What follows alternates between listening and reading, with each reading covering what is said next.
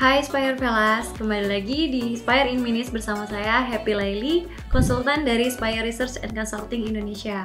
Di video kali ini saya akan menyampaikan mengenai penerapan industri halal di Indonesia. Yuk simak videonya.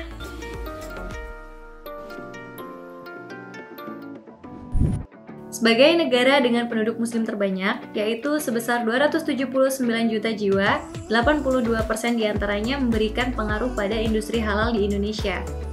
Permintaan konsumen terhadap segala hal yang berbau halal semakin meningkat dari tahun ke tahun sehingga dapat disimpulkan bahwa ada potensi besar untuk terus mengembangkan halal industri di Indonesia.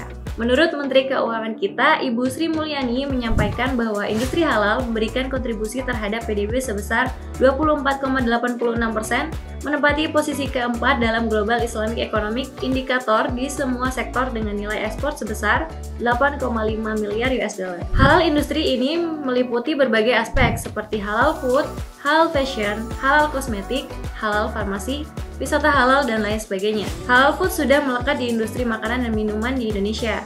Hal ini dibuktikan dari sudah adanya kewajiban sertifikasi halal oleh pelaku usaha terhadap produk yang dimiliki. Pada sektor makanan dan minuman, Indonesia menjadi negara dengan tingkat konsumsi halal terbesar.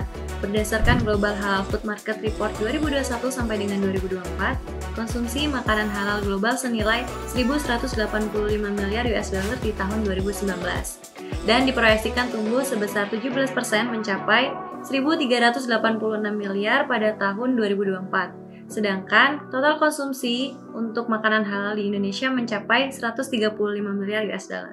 Kementerian Perindustrian menyatakan bahwa Halal Fashion Indonesia menduduki posisi terbesar ketiga di dunia setelah United Emirates Arab dan Turki.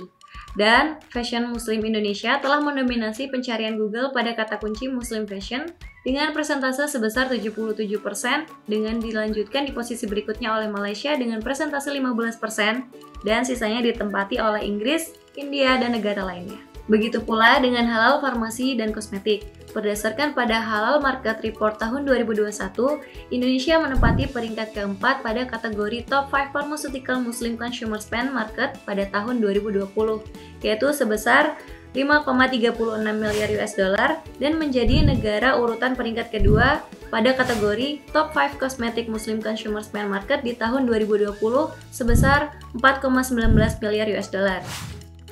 Hal ini menunjukkan bahwa sudah banyak produk dari kosmetik lokal Indonesia yang beredar dengan label halal yang sudah disahkan oleh MUI dan BPJPH dan diproyeksikan akan mengalami pertumbuhan sebesar 5,83% dan 12,62% pada tahun 2025 mendatang.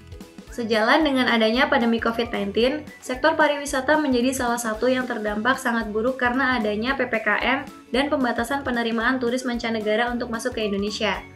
Menurut Market Overview di Indonesia, pada sektor travel dan turis menunjukkan bahwa pada tahun 2019 memberikan kontribusi sebesar 6,1% terhadap GDP di Indonesia. Meskipun dengan keadaan sulit tersebut, Indonesia ditetapkan menjadi negara dengan Muslim Travel Friendly ke-12. Wisata halal andalan yang saat ini sudah dimiliki di Indonesia berada di beberapa wilayah seperti Aceh, Sumatera Barat, NTB, Kepulauan Riau, dan DKI Jakarta. Beberapa sektor di atas mulai dari halal food, halal fashion, halal farmasi, dan halal kosmetik, hingga halal pariwisata adalah bukti bahwa Indonesia telah memiliki nilai kuat pada industri halal. Berbagai partisi sudah menyadari dan mengetahui adanya potensi besar tersebut, sehingga sudah mulai banyak aksi dalam mengembangkan halal industri.